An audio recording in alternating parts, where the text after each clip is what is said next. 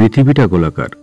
তবে টেলিস্কোপ আবিষ্কারের পর বিজ্ঞানীরা দেখেছেন, শুধু পৃথিবী নয়, কিছু ব্যতিক্রম ছাড়া চাঁদ, সূর্য এবং গ্রহ, নক্ষত্র, উপগ্রহ সহ আকাশের বেশিরভাগ বস্তুই গোলাকার। বর্তমানে বিজ্ঞানীরা গ্যালাক্সি দিয়ে মহাকাশে উঁকি দেন। গ্রহে নিজস্ব কোনো আলো নেই, তাই এদের পর্যবেক্ষণ করা কঠিন। তারপরও অসংখ্য গ্রহ পর্যবেক্ষণ করেছেন বিজ্ঞানীরা। চলতি বছরের শুরুর দিকে নাসা জানিয়েছিল, তারা পাঁচ হাজার এক্সোপ্ল্যানেটের তালিকা তৈরি করে ফেলেছে। আশ্চর্যের ব্যাপার হচ্ছে, এই বিপুল সংখ্যক গ্রহের সবগুলোই গোলাকার। কোনো ঘনকাকার পিরামিড বা বিষম আকারের গ্রহের দেখা বিজ্ঞানীরা এখনও পর্যন্ত পাননি।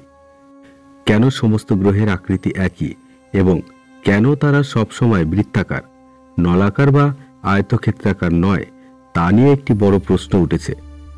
চলুন দেখে নেওয়া যাক বিজ্ঞানীরা এর কারণে কি বলছেন। তবে ভিডিওটি শুরু করার আগে তোমাদের কাছে বিশেষ অনুরোধ। যদি এই চ্যানেলে নতুন হয়ে থাকো, তাহলে অবশ্যই চ্যানেলটি সাবস্ক্রাইব করো এবং ভিডিওটি ভালো লাগলে লাইক, শেয়ার করতে একদমই ভুলবেন না।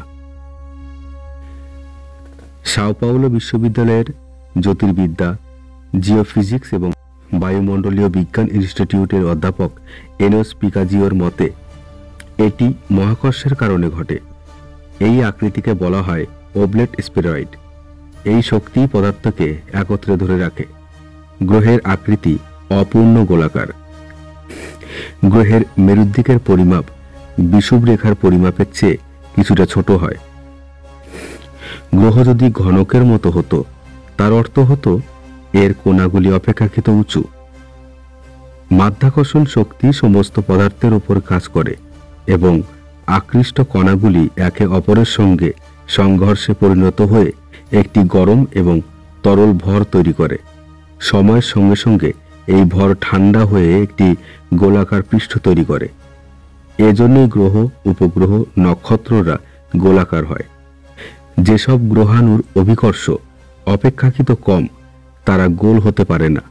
হয় এবড়ো খেবড়ো বিষুবরেখার সম্প্রসারণ অনেক গ্রহেরই বেশি।